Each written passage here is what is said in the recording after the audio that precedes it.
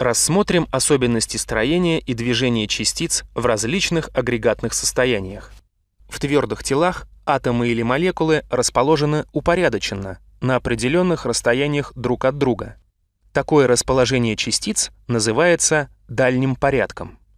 Сами частицы совершают непрерывные колебательные движения, причем плоскости колебаний ориентированы хаотически.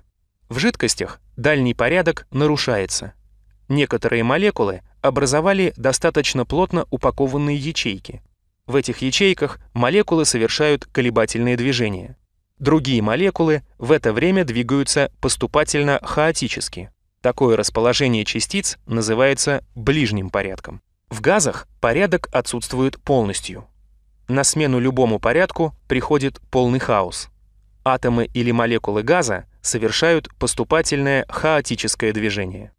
При увеличении температуры возрастает скорость движения частиц во всех агрегатных состояниях.